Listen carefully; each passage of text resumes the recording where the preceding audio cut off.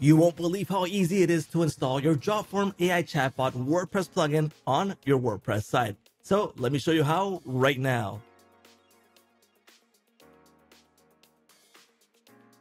Hey, welcome to JotForm. My name is George, and on this video, I'm going to show you how to locate and install the JotForm AI chatbot plugin on your WordPress site. Now, the beauty about this is that we're going to be able to go through the setup process on the WordPress side, and we'll be able to create the chatbot AI agent from the WordPress plugin, or we can choose in an AI agent that we previously created here on our JotForm site.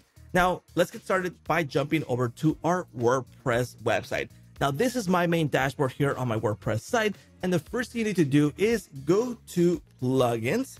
We are going to click on add new plugin. And once we are here, we need to locate the JotForm AI chatbot plugin. So let's type in JotForm AI chatbot. Here we go. Let's wait a few seconds for it to search and we have it here. It's the first one. Now make sure that it says made by JotForm because there might be different plugins out there. So make sure that it's this one, AI chatbot for WordPress by JotForm and by JotForm. Okay. Now, once you're good to go, go ahead and install and activate it. In this case, I already have this plugin activated and I'm able to locate it down here where it says JotForm AI chatbot. So I am going to select this and I'm going to get started with the setup process.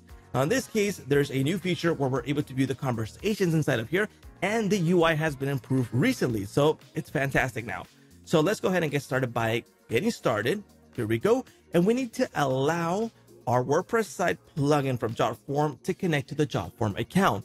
If you are not logged in, it will ask you to log in to allow. Okay. So let's go ahead and allow.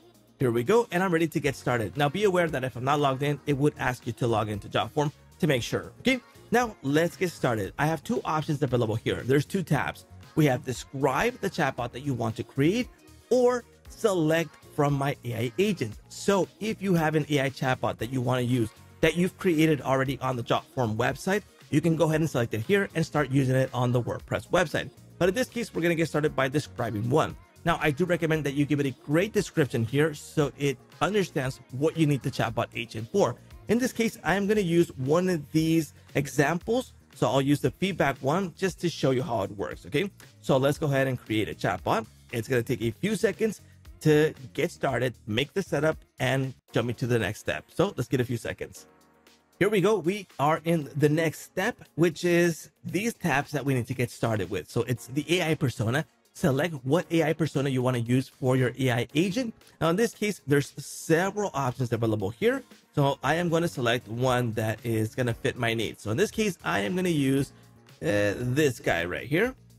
Here we go. And his name is Simon, but we can go ahead and change the name anytime. So I'm going to say his name is Jerry, a little bit more friendly. It, it gives it a better ring in my personal opinion. Okay. Then we have the agent role. What is this agent going to be doing? In this case, since we described in the beginning, this is going to be for feedback, it gives us an agent role already. So client feedback specialist. But be aware that this description, this little description here is super important for the AI agent to understand how it's going to behave. So I do recommend that you give it a good description. In this case, I'm good to go with this one.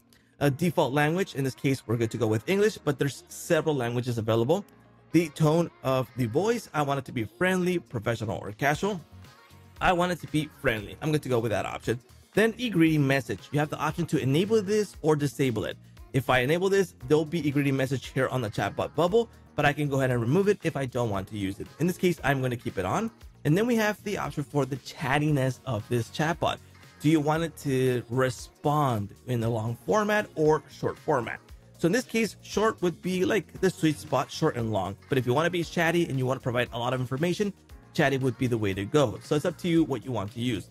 So let's go ahead and go to the next step, which is the chat guidelines. Now, these are guidelines that the chatbot is going to go with. So in this case, this is the guidelines that it has here. I can add a new guideline in case I want to describe something else here. In this case, I'm good to go with the suggested chat guidelines. So we're good to go. Let's go ahead and jump into the agent style and we have different color schemes available that you can start using. So I'm going to use this bluish one and you can see that it automatically changed into bluish. We have a new header that's blue. The chatbot bubble is also bluish now. So there's a different color there, but we can change these colors if I, if we don't want to use one of the color schemes. So you got the agent background style, the chat style. So if you want to change the background to a different color, that is possible. The button style can be changed too, in case you don't want that green there, but you have different options available here to customize it and go with your branding, okay? Then we have the visibility options. So we have the layout, which is minimal. We got the extended one, which changes a bit more. You can see that it already has some prompts here that you can select with these buttons that you can quickly click on them, but it's up to you how, what you want to use.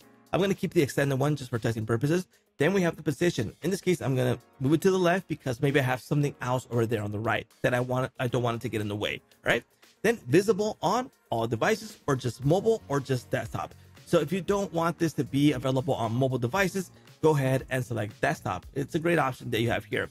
Uh, advanced visibility. So if you want to show it on specific URLs, that is possible. Or if you want to hide it on specific URLs, that is possible too. Plus, there's advanced conditional logic here. So if you want to use URL or page, it's up to you. And if it's starting with or is. So if you want to select like the extension of a URL, you can go ahead and hide on. Let me give you a quick example. So if you have a blog, for example, and it starts off with that, we can go ahead and say that, you know what, in the blog pages, let's not show the chatbot button. And that would be a way to go. So it's it's an option to use there. So I'm gonna say if it starts with or if it is, I'm gonna leave it like that. Okay. So we can get we can add more if we like. Okay.